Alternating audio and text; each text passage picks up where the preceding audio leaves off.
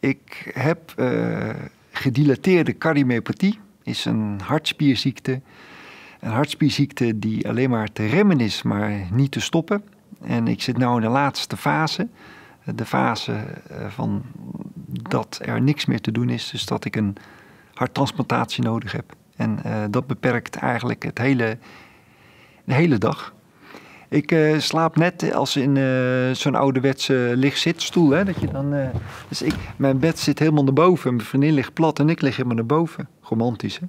Dus ik, ik, ik, ik, ik zit eigenlijk een beetje, want zodra ik plat ga liggen, word ik steeds benauwder, omdat er altijd vocht zit tussen mijn longen. En ik lig, s'nachts lig ik aan een laadstation. En dat is constant aan het, aan het meten, aan het piepen. Er is veel lawaai, altijd. Ik sta op een wachtlijst. En ik, omdat ik voor de rest niet meer te helpen ben. En ze hebben alles gedaan wat ze konden doen. En nu is het gewoon het, eindstation is een donorhart.